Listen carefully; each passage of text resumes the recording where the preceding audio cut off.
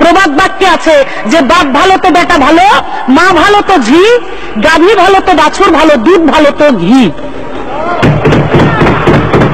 আমি বলতে চাই যে আজকে শেখ হাসিনা যেই নীতিতে বঙ্গবন্ধু রক্ত যার মধ্যে, সে যে নীতিতে চলে, আমরা সব সময় তাই মানুষকে বলি যে আপনারা দেখেন, যাকে দেখলেই মায়ের মতো মনে হয়, যাকে দেখলেই মাটির মানুষ মনে হয়। একটা বাচ্চাকে পেলে একটা কাউকে ঘৃণা না করে সে বুকের মধ্যে টেনে নেয়। তিনি হলেন শেখ হাসিনা।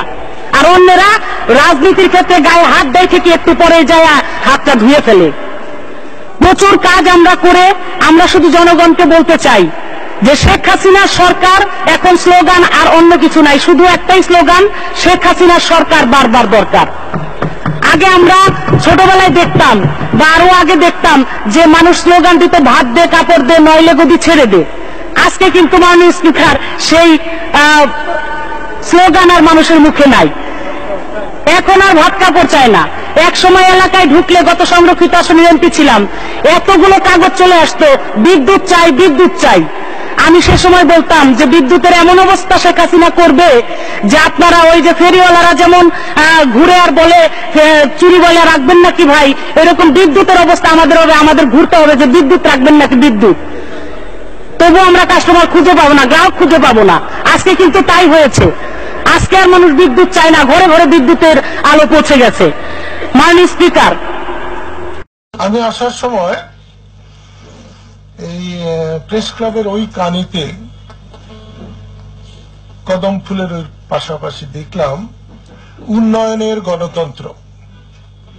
আমি আমার বাবার জন্মে গণতন্ত্রের আগে পিছে কোনো বিশেষণ থাকে, উন্নয়ন বা অবনয়ন, আমি কখনো পড়িও নাই, জানিও না এটা আমার জানাও ছিল না। আমি স্বাধীনতা চাই, আমি গণতন্ত্র চাই, সেখানে উন্নয়নের কোনো সম্পর্ক নেই। এবং আমি বিশ্বাস করি গণতন্ত্রের সাথে উন্নয়নের বিন্দু মাত্র কোনো সম্পর্ক নেই।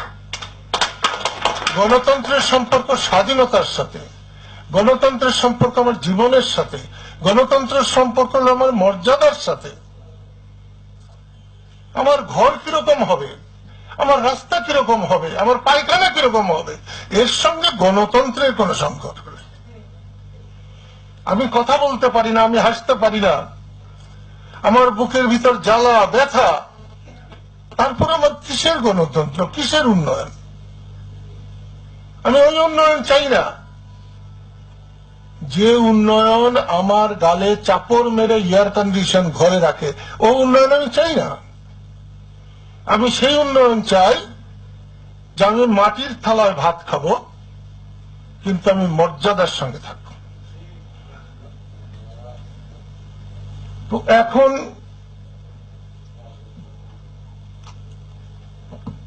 আমাদের সরকার, বর্তমান সরকার, ভোটারবিহীন সরকার, তিনি গণতন্ত্রকে উন্নয়নের গণতন্ত্র বানিয়েছেন। ভোটের গণতন্ত্র বানান নাই, মানুষের ইচ্ছার গণতন্ত্র বানান নাই, মানুষের সম্মতির গণতন্ত্র বানান নাই। গণতন্ত্রের মূল কথাই হচ্ছে মানুষের ইচ্ছা, মানুষের সম্মতি। এটার কোনো দরকার নেই। কারণ ভোটের কোনো দরকার নেই। মানুষের মতামতের কোনো দরকার নেই।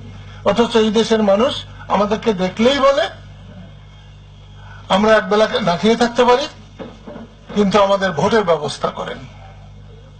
মানুষ ভোট দিতে পারছে না। মানুষের ভোটের অধিকার নাই, পরিবেশ নাই। আর এরপরেও যে ভোট হবে, আপনারা যে যাই ভাবেন, আমি কিন্তু ভাবতে পারছি না যে ভোট হবে। কারণ যদি নিশ্চিত, নিরপেক্ষ, প্রভাবমুক্ত, বঙ্গবন্ধু যা চাইতেন যে সরকারি প্রভাবমুক্ত নির্বাচন, তাহলে বর্তমান সরকার যারা আছেন, সরকারে থাকার তাদের কোনো সুযোগ থাকবে না।